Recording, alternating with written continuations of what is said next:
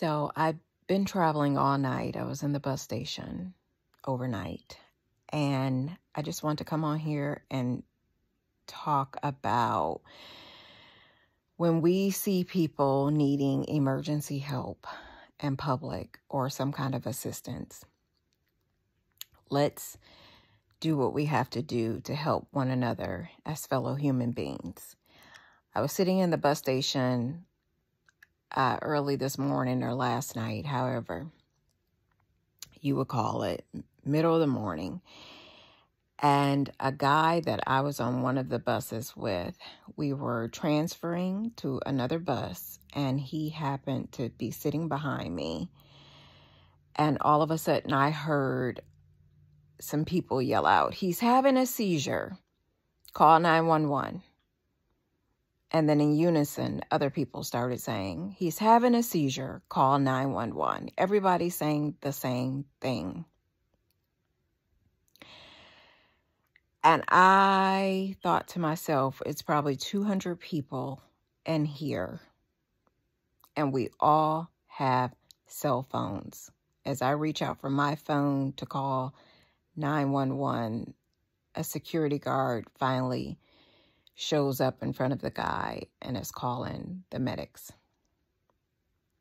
This is my worst nightmare for myself because I am one that have I had some health issues at one point and I have passed out in public a few times. Luckily, I have been with my children who was able to call the medic.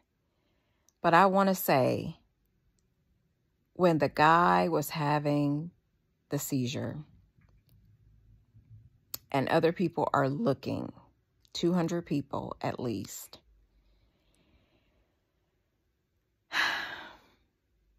I know we, I don't know, I'm not going to say nosy, but we want to be alerted to why we're going to call 911 or a medic or some emergency professional, and people just start to stare.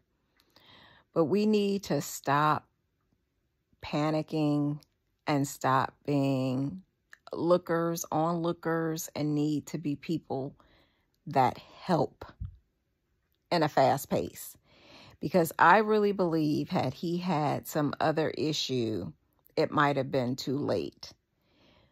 I think we all know that a seizure usually plays itself out. It may not be an emergency situation. So, fortunately for him, he was able to go through his seizure. And by the time the paramedics got there, he was alert and they took him off and he seemed fine. But when people are yelling out, call 911, call 911,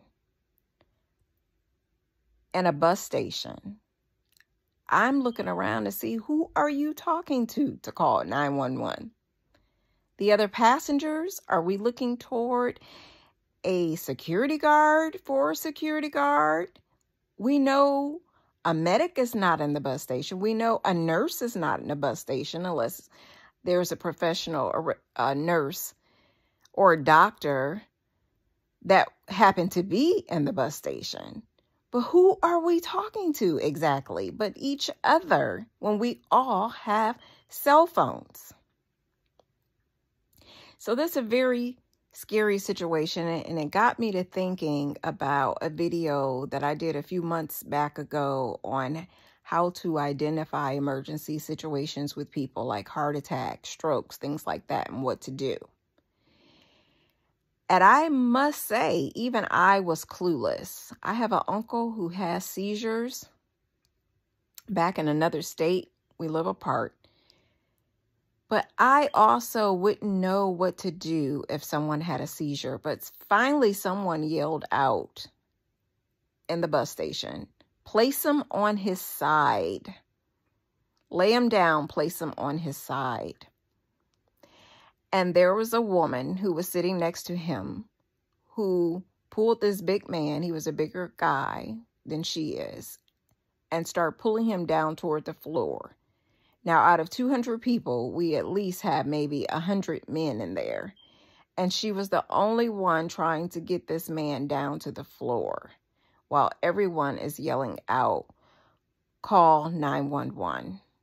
Even the guy that suggested that he be laid on his side was actually just standing there, but the lady stayed there next to him, rubbing him and holding him all the way until he came back into consciousness. And so I want us to just really consider and rethink how we respond to emergency situations. I always hear on TV, we see on TV, like in 9-11 and in different things, we we hear about these heroes helping to save lives and helping people.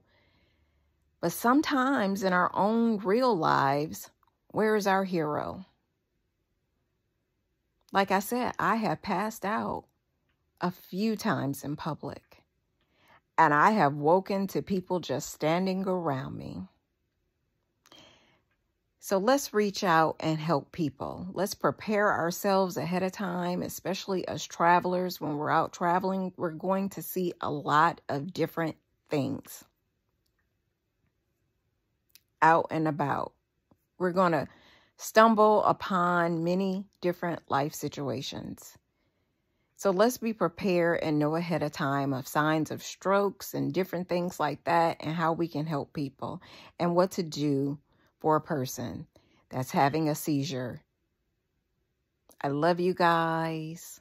I'll see you on an upcoming video. Hopefully it won't be a rant because on my travels, this last 25 days, I've this is already my second rant about something that I have seen out there and it just breaks my heart.